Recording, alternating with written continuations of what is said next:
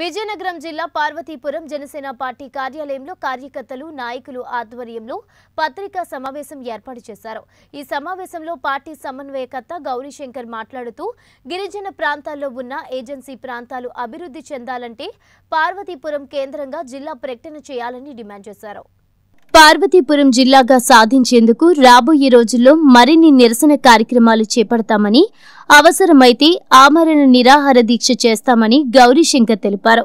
ఈ సమావేశంలో రెడ్డి కరుణ చందక అనిల్ పల్లి వెంకటేష్ రాజన్న బాలు రాజన్న రాంబాబు సురేష్ కార్యకర్తలు పాల్గొన్నారు. జనసేన పార్టీ ముఖ్య ఉద్దేశం ఏంటంటే పార్వతీపురాన్ని జిల్లాగా ప్రకటించాలని కోరుకుంటున్నాము. దానికి సంబంధించి అన్ని అర్హతలు అర్హతలు కూడా పార్వతీపురంకి ఉన్నాయని కూడా అందరికీ తెలిసిందే.